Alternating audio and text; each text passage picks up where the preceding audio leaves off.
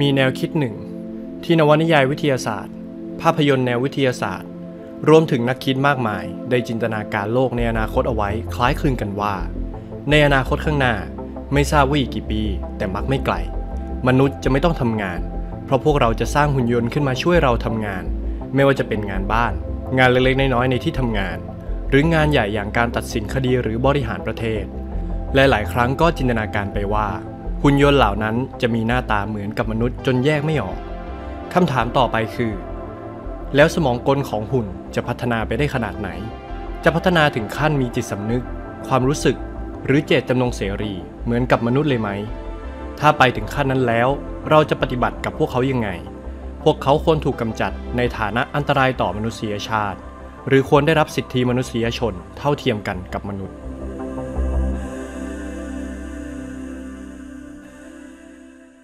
เกม Detroit Become Human เป็นเกม Choice Matter แบบเลือกตอบ ที่จะพาผู้เล่นออกไปสำรวจประเด็นดังกล่าว ผ่านการสวมบทบาทเป็น Android 3 ตัว ที่อาศัยอยู่ในเมืองดีทรอยต์เมืองที่เคยเป็นเมืองสำคัญทางอุตสาหกรรม และเป็นเมืองสำคัญทางประวัติศาสตร์ ของการเรียกร้องสิทธิมนุษยชนของคนผิวสี เมืองแห่งนี้ในอนาคตอันใกล้ปี 2038 หรือ 70 ปี หลังจากมาร์ตินลูเทอร์คิงจูเนียร์เสียชีวิต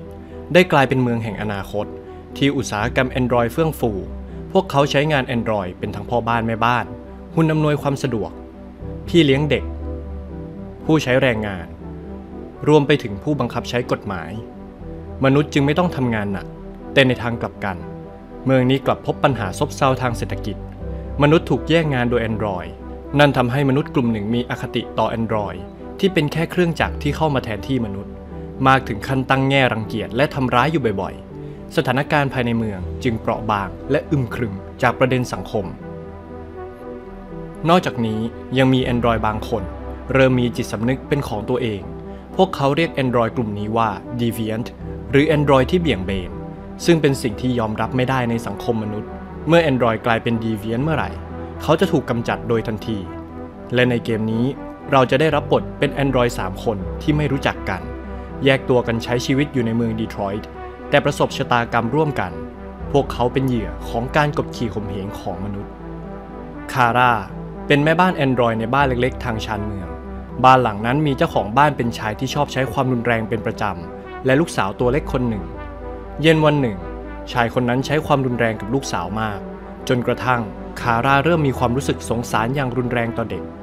ณ วินาทีนั้นเอง ที่เธอเริ่มฝ่าฝืนคำสั่งของผู้เป็นนาย และแอบช่วยเหลือเด็กน้อย และเธอก็ได้กลายเป็นดีเวียนต์เพื่อที่จะปกป้องเด็ก เธอได้ทำร้ายนายผู้ชาย และหลบหนีออกจากบ้านหลังนั้น เธอหลบซ่อน และหลบหนีจากสายตาตำรวจไปพร้อมกับเด็กน้อย จนกระทั่งทราบข่าวองค์กรใต้ดิน ที่ช่วยเหลือดีเวียนต์ลักลอบหนีไปยังแคนาดา ระหว่างทางเอาตัวรอดนั้น เธอจะถูกจับจ้องโดยเด็กคนนี้อยู่ตลอด เด็กคนนั้นจะคอยสังเกตว่า เธอเป็นตัวอย่างที่ดีไหมในการเอาตัวรอด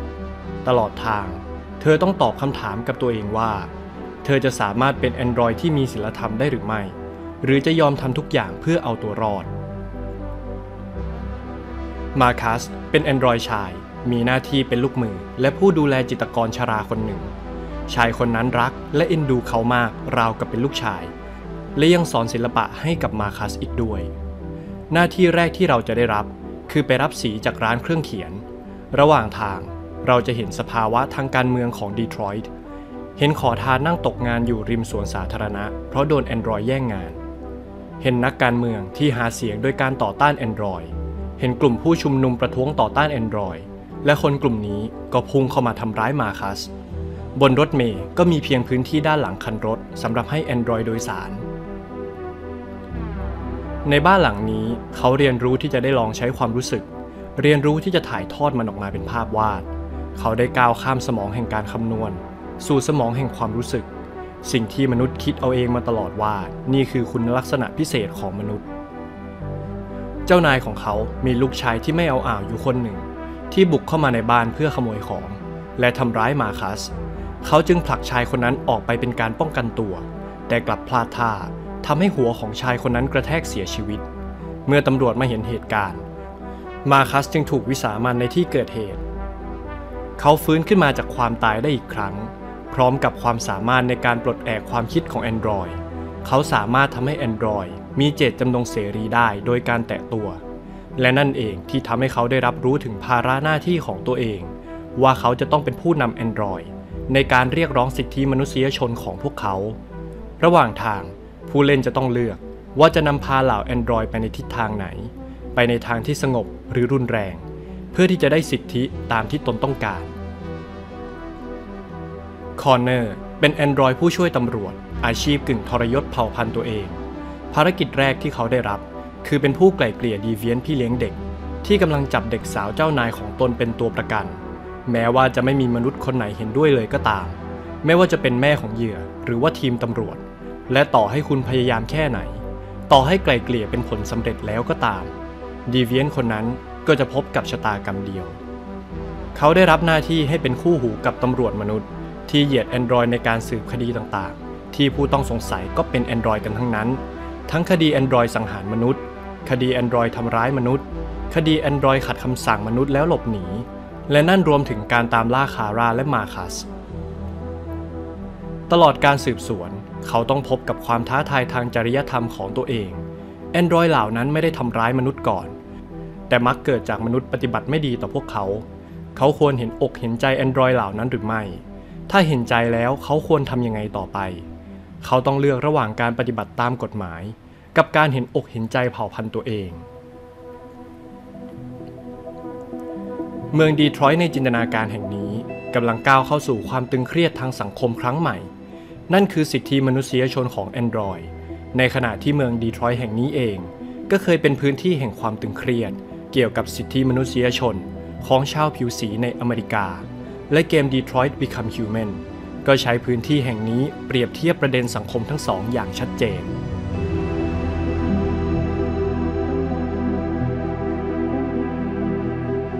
ประวัติศาสตร์ของชาวแอฟริกันอเมริกันในอเมริกา เริ่มมาตั้งแต่สมัยศตวรรษที่ 16 ในปี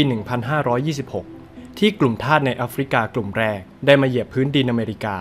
พวกเขาถูกส่งมาโดยนักสำรวจชาวสเปน เป็นแรงงานในการก่อตั้งอาณานิคม นับแต่นั้นก็มีทาสจากแอฟริกาถูกส่งมาอีกเป็นจำนวนมาก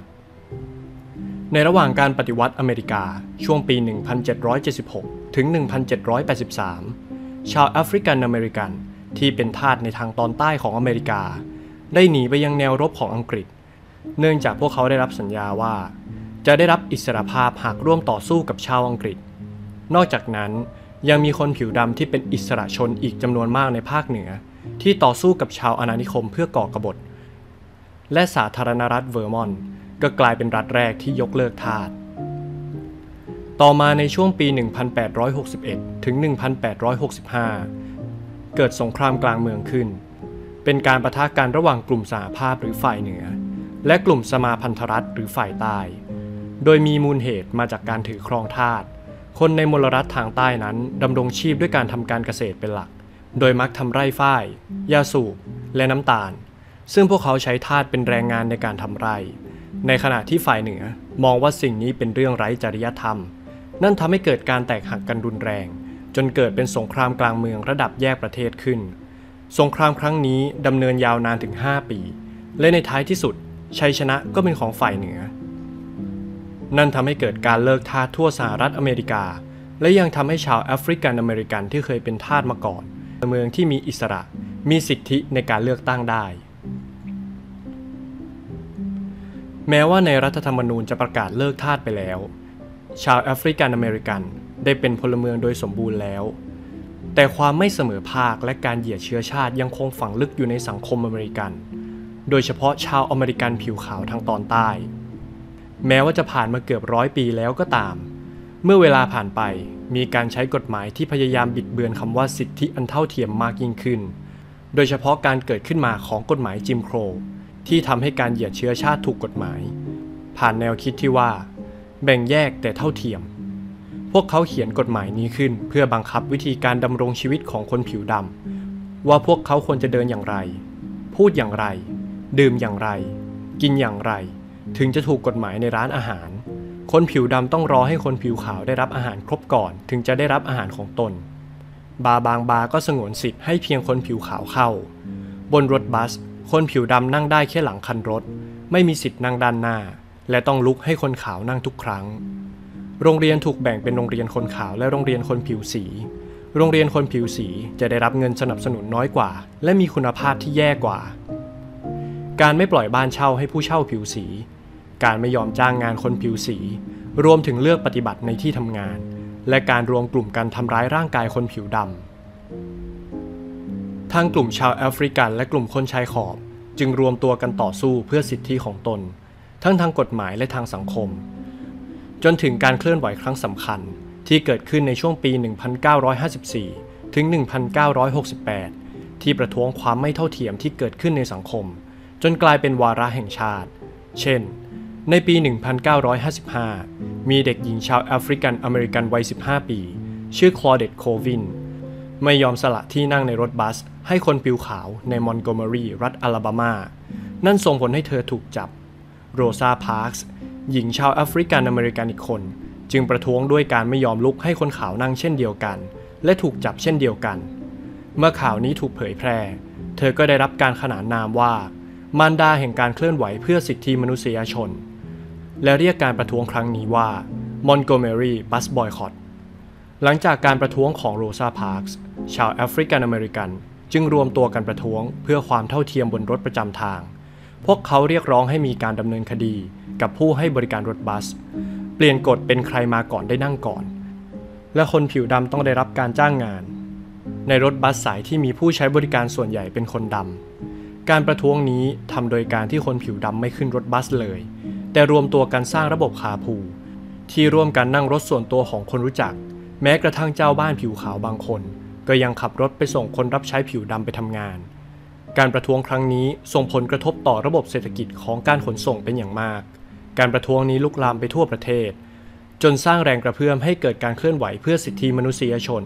ที่ต่อมาได้ส่องสปอตไลท์ให้กับมาร์ตินลูเทอร์คิงจูเนียร์กลายเป็นผู้นำทางการเมืองคนสำคัญ แต่การต่อสู้ครั้งนี้ไม่ได้มีแค่ด้านสวยงามเสมอไป ยังมีด้านนองเลือดในประวัติศาสตร์เกิดขึ้นอีกด้วย ในปี 1967 เกิดเหตุการณ์รุนแรงที่ชื่อว่า การจลาจลดีทรอยต์ปี 1967 หรือที่รู้จักกันในอีกชื่อหนึ่งว่า การจลาจลบนถนนหมายเลข 12 เหตุการณ์ครั้งนี้ ถือได้ว่าเป็นการจลาจลที่รุนแรงที่สุดในสหรัฐอเมริกาในยุคนั้นเลยทีเดียว การจลาจลครั้งนี้เป็นการประทะกัน ระหว่างประชาชนผิวดำและตำรวจเมือง เมื่อตำรวจเมืองดีทรอยต์บุกเข้าจับกุมบาร์ที่เปิดโดยไม่มีใบอนุญาต และจับประชาชนผิวดำถึง 82 คน สร้างความไม่พอใจให้กับชาวบ้าน และกลายเป็นความรุนแรงลุกลามใหญ่โต เกิดการทำลายทรัพย์สิน ชิงทรัพย์ รวมไปถึงเผาอาคารบ้านเรือน แม้ว่าตำรวจจะปิดล้อมพื้นที่ แต่ชาวบ้านก็ยังขับรถชนสิ่งกีดขวางรอบข้าง ความรุนแรงขยายอาณาเขตจนตำรวจภูทรเองก็ควบคุมไม่อยู่ จึงต้องขอกำลังเสริมจากส่วนกลาง ที่ยกทีมกองกำลังรักษาดินแดนของรัฐมิชิแกนมามากกว่า 9,000 นาย และในวันที่2ของการประท้วง ประธานาธิบดีก็ยังส่งกองทัพทหารมาสนับสนุนอีกด้วย เบื้องหลังการจลาจลครั้งนี้เกิดจากความกดดันทางสังคมที่สะสมมานานของชาวแอฟริกันอเมริกัน ไม่ว่าจะเป็นการไม่จ้างงาน การจ้างงานน้อย ความยากจน การเหยียดสัญชาติ รวมถึงความรุนแรงของผู้บังคับใช้กฎหมาย ความรุนแรงจากตำรวจ และการตัดสินโดยเหยียดสัญชาติ เกิดขึ้นเป็นประจำในเมืองดีทรอยต์ชาวแอฟริกันอเมริกันหลายคนถูกตำรวจค้นทั้งที่ไม่มีหมายค้น พวกเขาโดนรังแก และใช้กำลังรุนแรงเกินกว่าเหตุของตำรวจมานานนับปี และเมื่อเกิดเหตุการณ์จับกลุ่มครั้งใหญ่ขึ้น ความอัดอั้นจึงปะทุออกมาเป็นการก่อจลาจล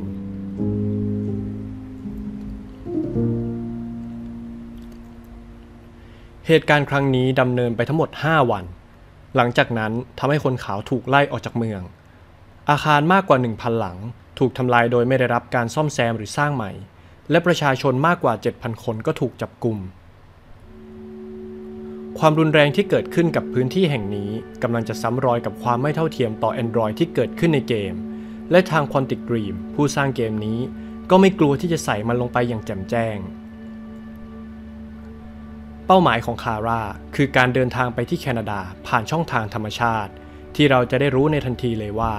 นี่คือการเปรียบเปรยถึง Underground Railroad เครือข่ายช่องทางลับที่ใช้สำหรับให้ทาสในตอนใต้ของอเมริกา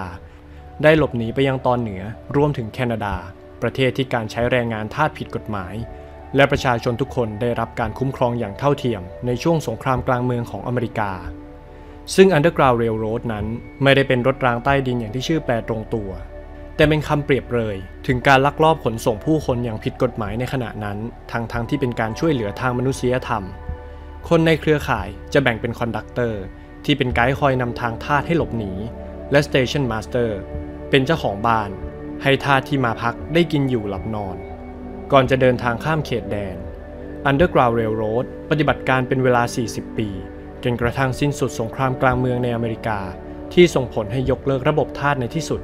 เครือข่ายนี้จึงหยุดปฏิบัติงานตามไปด้วย และได้ช่วยเหลือผู้คนถึงมากกว่า 75,000 คนให้ได้รับอิสรภาพ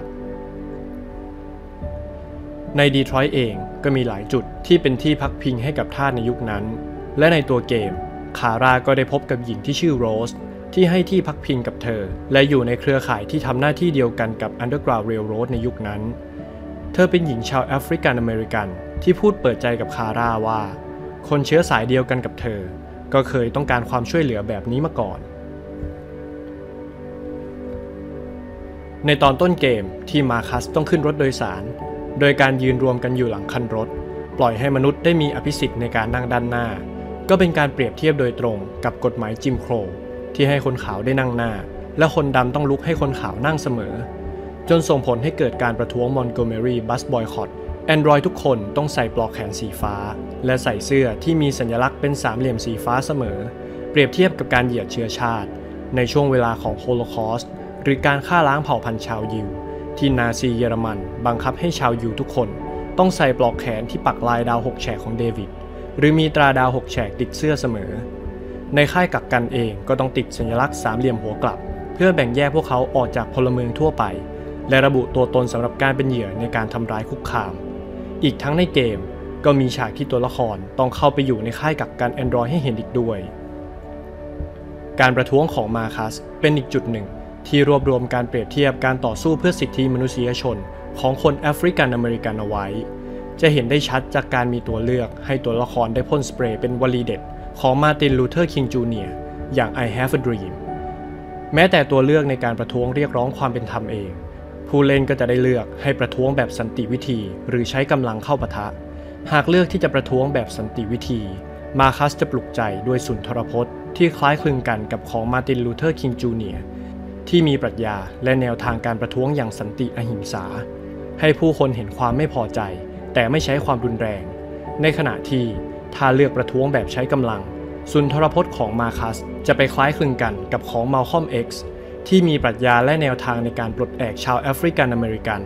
ว่าจำเป็นต้องมีอำนาจในตัวเอง พวกเขาต้องมีกำลังในการป้องกันตัวเอง และต้องมีอิสรภาพทางเศรษฐกิจเป็นของตัวเอง และการต่อต้านทั้งสองแบบ จะนำไปสู่จุดจบของเส้นเรื่องมาคัสที่แตกต่างกันออกไป การเดินขบวนประท้วงของมาคัสและผองเพื่อนในตอนจบ เกิดขึ้นที่วูดเวิร์ดเมืองดีทรอยต์ก็ได้รับแรงบันดาลใจโดยตรง มาจากการเดินขบวนประท้วงเพื่อเสรีภาพ ของมาตินลูเทอร์คิงจูเนียร์ที่วูดเวิร์ดเมืองดีทรอยต์ที่เกิดขึ้นในปี 1963 ที่นับได้ว่าเป็นการเดินขบวนประท้วงเพื่อสิทธิมนุษยชนครั้งสำคัญของอเมริกา โดยมีคนเข้าร่วมถึงมากกว่า 1 0 0 0 0แสนคน และเป็นสถานที่ที่เขาได้กล่าวสุนทรพจน์ ที่ต่อมาจะถูกพัฒนาเป็นสุนทรพจน์ I Have a Dream หนึ่งในสุนทรพจน์ที่ยิ่งใหญ่ที่สุดในประวัติศาสตร์ ที่เขากล่าวในการประท้วงที่วอชิงตันในปีเดียวกัน ในขณะที่ หากเลือกที่จะปะทะกับตำรวจในเกม ประวัติศาสตร์หน้านี้ก็จะซ้ำรอยกับการจลาจลในดีทรอยต์ปี 1967 เมื่อตัวละคร Android ในเกม Detroit Become Human กลายเป็นตัวแทนของชาวแอฟริกันอเมริกัน รวมถึงกลุ่มคนส่วนน้อย กลุ่มคนชายขอบของสังคม การใช้ระบบทางเลือกแบบ Choice Matter ของเกม จึงทำให้ผู้เล่นได้สวมบทบาทเป็นตัวละคร Android ได้รับรู้ถึงความอายุติธรรม ที่เกิดขึ้นด้วยหัวใจของมนุษย์ ผ่านประสบการณ์กึ่งมือหนึ่งกึ่งมือสองที่เป็นลักษณะพิเศษของสื่อประเภทเกม ผู้เล่นจะได้รับสารที่เป็นการสร้างและปรุงแต่งมาแล้วทีหนึ่ง แต่ผู้เล่นก็ยังมีสิทธิ์ที่จะเลือกหนทางการดำเนินชีวิตภายในเกมด้วยตัวเอง ได้รับผิดชอบกับเหตุปัจจัย และผลลัพธ์ที่เกิดขึ้นกับการตัดสินใจของตน และในอีกในหนึ่ง การเดินทางของตัวละครในเกม จึงเป็นการเดินทางของผู้เล่น เพื่อเอาตัวรอดจากความรุนแรง และการกดขี่ที่เคยเกิดขึ้นมาแล้ว และยังคงเหลืออยู่ในสังคม ผ่านสถานการณ์ที่ปรุงแต่งให้ออกห่างจากความเป็นจริงระดับหนึ่ง เพื่อลองดูว่าเมื่อตัดขาดจากสังคมไประดับหนึ่งแล้ว หลักทางจริยธรรมและมนุษยธรรมของเราจะเปลี่ยนไปหรือไม่ เมื่อตัวละครไม่ใช่คนดำคนเอเชีย คนยิว หรือกลุ่มชาติพันธุ์อื่นๆแต่เป็นตัวละครสมมุติที่ถูกมองว่าต่ำกว่ามนุษย์กระแสหลัก บางตัวละครเองก็เป็นแอนดรอยที่มีรูปร่างเป็นมนุษย์ผิวขาวเลยด้วยซ้ำเราจะมองพวกเขาเป็นยังไง เขายังควรมีสิทธิมีศักดิ์ศรีเท่าเทียมโดยทั่วกันหรือไม่ และตั้งคำถามเชิงทดลองต่อไปอีกว่า ในอนาคตข้างหน้า หากมีแอนดรอยที่มีจิตสำนึก ความรู้สึก และเจตจำนงเสรีขึ้นมาจริง ๆ เราจะก้าวข้ามคำจำกัดความของมนุษย์แบบชีววิทยาไปหรือไม่ พวกเขาจะเรียกว่ามีชีวิตได้ไหม หากพวกเขาไม่มีกายเนื้อ แต่พวกเขามีจิตสำนึกระลึกรู้ และหากวันนั้นเกิดขึ้นจริง เราจะเลิกมอง Android ในฐานะเครื่องมือไร้ชีวิตของมนุษย์ ไปเป็นสิ่งมีจิตใจชนิดใหม่อย่างเสมอภาคได้ไหม เราจะซ้ำรอยกับประวัติศาสตร์การเหยียดหยามชาติพันธุ์ที่เกิดขึ้นซ้ำแล้วซ้ำเล่า ตลอดช่วงเวลาในประวัติศาสตร์มนุษยชาติได้หรือไม่ เป็นคำถามที่ให้เราคบคิดต่อไป ก่อนที่เวลาเหล่านั้นจะเข้ามาถึง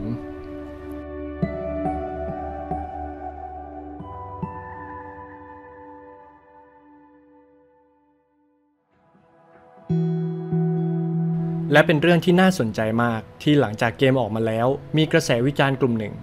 พูดถึงการนำประเด็นสังคมมาใช้กับเกมแนว Choice Matter เพราะเกมนี้มีขีดจำกัดของตัวมันเอง คือขีดจำกัดในการสร้างทางเลือกของตัวบท และความละเอียดอ่อนทางประเด็นของสังคม ที่ตัวเกมที่เล่นจบใน 10 ชั่วโมง ไม่สามารถเก็บได้ครบ เมื่อตัวเกมใช้ภาพแทนความตึงเครียดระหว่างมนุษย์กับ Android เป็นภาพแทนความตึงเครียดของคนผิวขาวและคนผิวสี แต่ขีดจำกัดทางการเขียนบท ไม่สามารถทำให้เห็นความเจ็บปวดนับร้อยปีที่เกิดขึ้นได้ ความรุนแรง การกดขี่ข่มเหง และการทำลายคุณค่าที่เกิดขึ้นทั้งในระดับกฎหมาย ระดับวัฒนธรรม และระดับจิตวิญญาณ จึงถูกลดทอน เหลือเพียงการต่อสู้ของคนที่จู่ๆก็มีความเชื่อเรื่องเจตจำนงเสรี และคุณค่าในตัวเองที่เกิดขึ้นมาอย่างง่ายดายและได้รับการยอมรับเหมือนมนุษย์ ซึ่งก็พร้อมที่จะยอมรับในระดับหนึ่งอยู่แล้ว ในขณะที่การต่อสู้ทางความคิดนี้เอง ต้องใช้เวลาปลดแอกการนิยามตัวเองกันนับสิบนับร้อยปี ทางเลือกต่างๆ ที่ถูกเขียนขึ้นมา โดยให้ทางเลือกหนึ่งส่งผลกับแค่ผลลัพธ์เดียว ทั้งที่ในโลกของเรา ประเด็นสังคมอันละเอียดอ่อนแบบนี้ จะมีปัจจัยแวดล้อม และมีผลลัพธ์ที่เกิดขึ้นได้เยอะ มากเกินกว่าจะอนุมานทางออกเพียงหนึ่งเดียว ยิ่งเมื่อผู้สร้างออกมาให้สัมภาษณ์ว่า เกมของเขาเพียงแค่พูดถึงเรื่องการต่อสู้ของ Android เท่านั้น ไม่ได้เกี่ยวกันกับประเด็นสังคม ทั้งที่มีการใช้ความเปรียบเป็นประเด็นสังคมตลอดทั้งเกม ยิ่งทำให้สงสัยในการทำงานของสารของเกมเกมนี้ แต่ก็ปฏิเสธไม่ได้ว่า สารของเกมยังคงทำงานของมันอยู่ ในฐานะเครื่องกระตุ้นความคิดเห็นที่มีต่อประเด็นสังคม และวิธีสร้างงานที่เกี่ยวโยงกันกับประเด็นทางสังคม